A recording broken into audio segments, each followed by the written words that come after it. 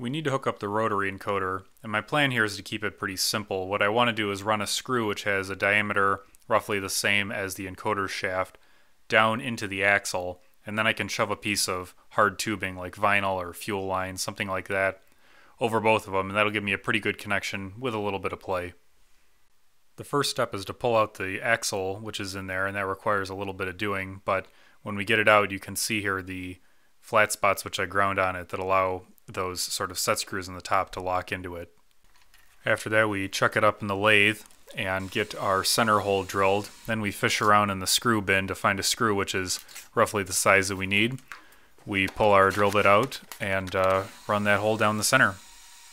I usually find tapping to be pretty enjoyable, and I think part of it is that it's it's a physical thing where you you have to feel it, you know, and you can't overdo it. It requires a little bit of skill at least. So it's fun to run this one in here. But you can see what happened was that I hadn't really checked the diameter of the screw that I was going to use versus the the bolt because the the usable sort of part of the inside of the bolt is quite a bit smaller of course because you need to leave room for the threads and then room to support that. So it broke right out and uh, and ruined it. So we're gonna make another one real quick. To avoid making the same mistake, I decided to first, before I do anything else, find the right size screw for this one. A quick montage takes care of reproducing the replacement, or I, I guess you should say it's producing the replacement. Since I'm going to run this screw in all the way down into the blind hole, I use some electrical cleaner with the low residue factor to uh, blow out the chips from the bottom. Put a little Loctite on there, run it in by hand, and drop it on the furnace and kick the heat on to help it cure.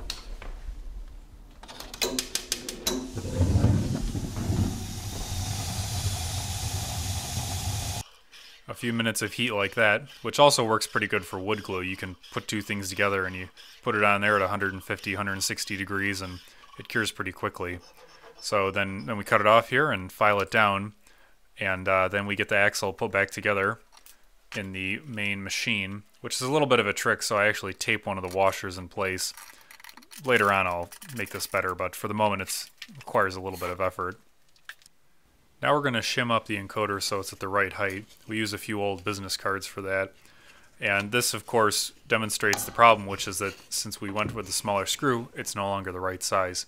What I ended up doing was just taking a three-quarter dowel of poplar I had laying around from some other project and turning it down in the lathe and uh, just running a hole down the center so it's a press fit on the shaft of the encoder. Put a few threads in the other one. It's good enough for now. We'll, we'll do an upgrade later. Next up is gearing down the stepper motor. It's currently at a 4 to 1 ratio between the, I guess, the rack gear that's on there and then the large one. And I've sort of since reconsidered the need for this gearing down, but in any case, what I did here was super glued. I mean, I scuffed it up and then I super glued uh, a 20 tooth and then a 60 tooth together, turned down an old bolt and made an axle that goes down the center of that. And we're going to use this to gear it down from the 4 to 1 current an additional 3 to 1 to give us a 12 to 1 reduction. Unfortunately, in order to support this shaft, I realized that it was a bit too small for the bearing, and I didn't want to use a larger shaft because it was going to be too thin on the smaller pulley. But before we get to that, the pulley I realized was actually, by, by the time you support the bearing, you support the shaft on the end with a bearing or something, they weren't going to be able to line up. So we checked it up really gently and just took a little bit off of, uh, of the end since there was quite a bit of room there for a set screw or something, which we're not going to use in this case because they only need to be coupled to each other. Then I found myself in the somewhat ironic position of having to use the foil tape strategy again. But it does work pretty well and yeah, I don't mind occasionally. The reason we had to use it here, of course, was that if you make the shaft big enough, you, you can't make it big enough on the ends and smaller in the center and still be able to slide the pulleys over it. Just doesn't work. With that done, we get everything assembled and make a little block setup for it, drop the bearings in there, and get it mounted. I'm not generally a huge fan of belt drives, although timing belts are definitely better than normal. In this case, though, belts are just so much more forgiving than gears or even chain drives. You know, chain drives have grease and things like that on them although I guess you could leave it off. But the alignment doesn't have to be that perfect with the belt. You can adjust the tension, if it gets too much torque, it'll it'll skip on smaller ones like this, and uh, you know won't you don't have the potential of harming things as much. So it works for now. Hooking up the stepper motor for the upper arm, we'll have to hold off till later because I don't have enough large gears or or small gears. I guess I just don't have enough gears in general. But it's going to use a belt like this, and it'll be back far enough so that it'll clear that counterweight swinging around. I do have the small pulley though, so we can work on getting that attached. The hole in it is not large enough to go over the shaft from the motor. And I had a problem before because I freehand drilled this and it didn't come out straight. So in this case I just used the lathe. I chucked it up very gently and drilled out that hole a bit larger. With the main hole straightened out, we need to add a spot for the set screw. And before what I did was I just eyeballed the drill bit size that I needed, and it was way too tight. I had to make it bigger like three times. So in this case, I, I got the went to the tap set, found a tap for the the uh, set screw, you know, looked in the diagram, and used the correct drill bit. The block of wood is used to keep it vertical. I press that, I just pinch it between uh, forefinger and thumb in the right spot there, which is probably not fantastic on uh, drill press safety, but it keeps it vertical which would be pretty difficult otherwise, especially with that opening in the center. And being plastic and a pretty weak drill press, I wasn't too concerned about it. So we did that off camera, got the hole drilled, ran the tap through it, and uh, put the put the set screw in. I want to be able to test the motor's stall torque and other settings in real life. So I took this shaft here, which has a known distance between centers, and I weighed it to figure out the amount of torque that that's going to exert. And then it has a hole in the end so we can add load to it. With the main axis having its mechanical stuff set up and pretty well ready to go, we wanted to give it a test drive, but first we had to fix the other one to keep it from flopping around and, or not really flopping around, but just moving and, and bumping into things. Since it does have quite a bit of vertical travel, it can, can bump into the ceiling and uh, things like that. So we fixed that with some colorful blue tape. After that, we'll have a look at our basic electronics setup here.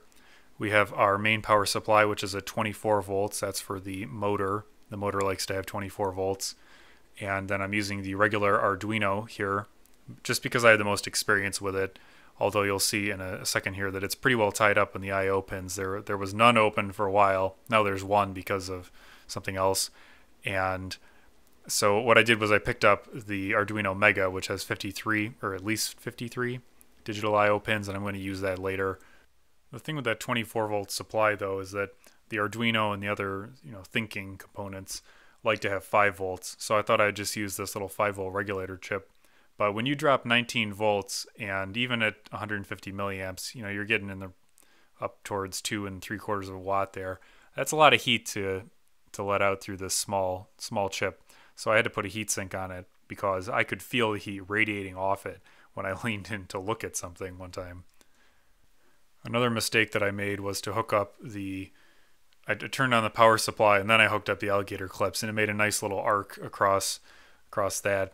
And I don't know if it was strictly related to that incident, but these trans uh, resistors became very dark, and I was having an issue. I thought it was these these resistors, but it turned out not to be, or at least their resistance is still still correct. I eventually solved the issue that I was having by replacing the decoder chip, the 2022 chip, which was kind of a bummer because they're about $11 each. But that's why I bought two because I know that I would need two of them later at a minimum, and then you have a, a backup in the meantime. Another lesson in the power supply department was with this unit. This is a power supply for model trains, which I had on hand, and since it goes from 0 to 14 volts, I'd been using it because it just seemed handy, a separate separate unit to supply uh, lower voltages. But it turns out here, if you put it on the scope, that it starts off like that and then as you go up to the maximum it's it's just rectifying the current. So maybe there was a capacitor in there that got fried or maybe it just doesn't have one at all. But in any case that was uh, that was kind of surprising. I didn't expect to see it quite that unregulated. We'll take it apart though and see because this could be a handy little unit to have if we could sort that out. You could remark the scale and just have a little variable voltage it's easy to change and you can change the direction as well.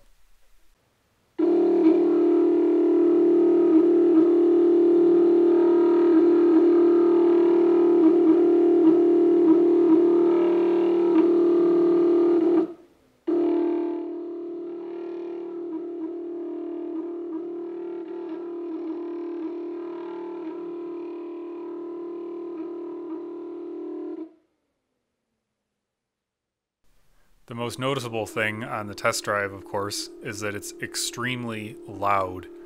And at first I didn't pay much attention to this because I was just excited to see it work, which it was supposed to work the other day, but then we had this, this issue I had to sort out with the chip being fried. But uh, what I eventually settled on here was if you come around the back, you can see that this is just, it's just a box that's open in there. And not only is that box open and resonating, but it's sitting on this door table, which is sitting on top of steel legs, and that has been known to resonate pretty well and make noise. On top of a concrete floor, there's a big sheet metal garage door, so there's a lot of things to reverber to uh, reflect that sound around. So to test how much noise the motor itself was actually making, we took it off there and just are going to hold it in a hand and run it there. So I'd like to point out that I was using my good mic in both cases here, and I have the gain set on the same amount, and I haven't altered it afterwards either, so it's a good comparison.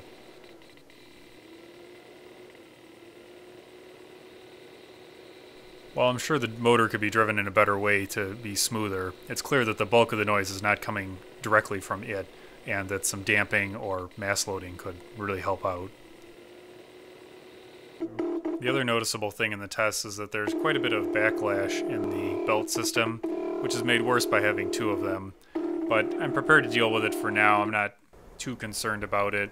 One thing about it is that I do have that encoder mounted directly on the shaft, and this type of backlash is completely predictable. So if you know it's going to overshoot by, say, 5 degrees, you know, and it's going to settle at the end of that to, to a certain value, you can stop ahead of time and kind of work around that, which is not ideal, but this is the prototype, and I just want to get it working pretty good, say 80% of, of the ideal. A final note on the power supply is constant current versus constant voltage. We were pretty well stumped on this one evening because it kept hitting the constant current limit, and I thought, oh no, I don't want to fry this thing, so I kept cranking it down, and then, of course, it kept hitting it again. So, to anyone out there who's not aware, constant current does not mean that it will put out a constant current. It means that that's what it's going to limit it to would be the better the better phrase, the, the current limit. I also determined on this motor driver which I had bought with the help of a, a forum discussion also that the the uh, switch diagram for the excitation mode is backwards. So you'll you'll see here that it's on the uh, two micro steps or whatever per thing and you have to you have to put everything backwards to the diagram, whereas all the other ones are correct. So that was also confusing initially. In the chip department, things went pretty smoothly. I had gone through the datasheet for that decoder chip very carefully, made up my own pinout diagram with terms that made sense to me without having to think too hard. And I'd basically just wired it up and with a little bit of troubleshooting was able to get it to work.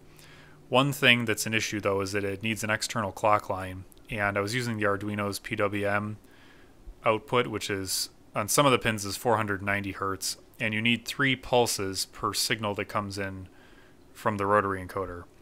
So if you're pulling in, like in this case, I've been getting 2400, even though it's supposed to be a 600 pulse one. I was getting 1200 before using interrupts, which I think may, which I was attributing to doing rising and lowering but I think that may not be correct. I think it may actually be a 1200. Maybe it was just mislabeled because I've been getting 2400 lately. So in any case, if you're going to do 2400 pulses per revolution and you need three clock signals per pulse, you need a lot of pulses. So I have that 555 chip there off to the side, which is providing a instead of a 490 hertz signal from the Arduino, a 125 kilohertz line which is which is much better. And then the trim pot is just adjusting it so it's reasonably close to 50% duty cycle. Now I realize that you can go in and do all sorts of funny things in the Arduino to modify the internal timers, but I felt that I should probably avoid that right now because it seems like the sort of thing that will work okay right now, and then later it will cause some sort of strange error, and it'll take me a really long time to track down and be very frustrating. So I'm going to head it off and gain a little experience with separate ICs by wiring that up and, and getting it dialed in. I also got another small toy in the mail, which is a live center for the lathe and a proper parting tool for it also. I've been using a hacksaw lately to part tools off, which does the job, but it's uh, not especially accurate and it's not fantastic on the safety thing either. So this one will be much better. Thank you for watching, and we'll be back next week.